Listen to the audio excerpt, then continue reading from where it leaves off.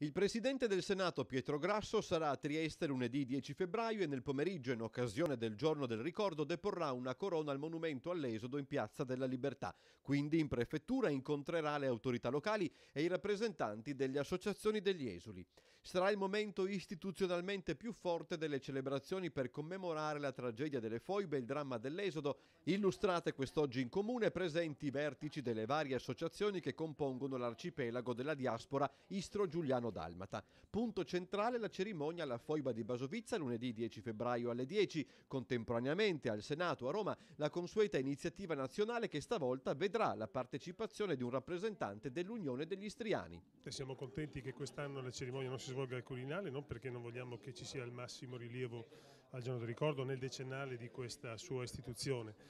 ma perché eh, al Quirinale esiste nel, nel libro d'oro ancora il nome di Tito e di altri suoi 56 stretti collaboratori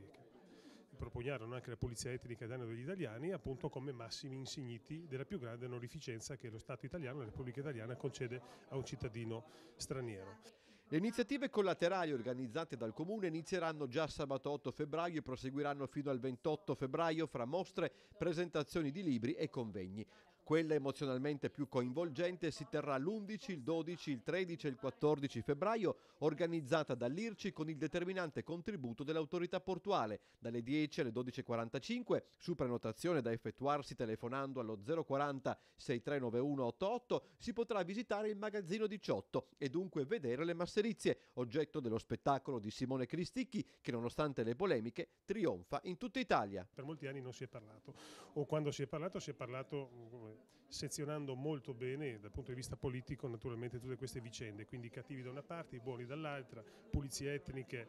non se ne parlavano, si parlava di crimini di guerra presunti o non presunti e purtroppo questi argomenti sono ancora molto difficili da, eh, da togliere o quantomeno da... Eh, da rivedere non con il solito stereotipo che, con i quali purtroppo sono state forgiate per molti anni.